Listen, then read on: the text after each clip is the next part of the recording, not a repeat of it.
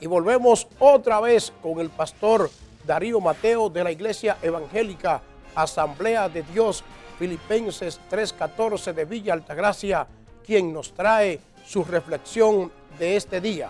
Gracias, pastor, por estar con nosotros nueva vez aquí en el puerto. Buenas noches, William. Qué honor poder dirigirme al público a través de el programa El Puerto, un programa que lleva información a la gente importante. Y esta vez yo quiero hablarle sobre la importancia de la familia. La familia fue creada por Dios. Y todo el que pertenece a una familia de acuerdo al orden de Dios es una persona que es bendecida y que recibe los beneficios de Dios. Hoy, de hecho, prolifera una campaña en contra de la familia, pero algunas cosas deben quedar claras respecto a la familia. Número uno, la familia Dios la creó relacionando a un hombre y una mujer.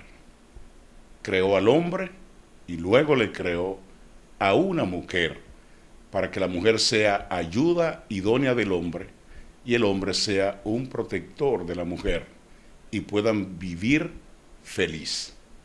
Sin embargo, hay una campaña en el mundo que tenemos que decir a la luz de la palabra de Dios, que es una campaña inspirada por el infierno. Cuando se habla públicamente cosas que dice la Biblia que hasta en secreto se debería evitar hablar de ella. Hablar de una relación entre un hombre y otro hombre altera el orden divino y debemos de decir rotundamente no. No lo aceptamos porque no es el deseo de Dios. No es el deseo de Dios que haya una relación de hombre con hombre ni mujer con mujer. Solo resta detenerse en la palabra de Dios, que es la regla infalible de conducta y fe del ser humano. Hoy deberíamos prestar mucha atención al llamado de Dios y tomar la palabra como modelo y ver el modelo que Dios presenta en la Biblia, no la publicidad que se hace en nuestros medios, como en estos días nuestro país, República Dominicana, ha sido duramente golpeado.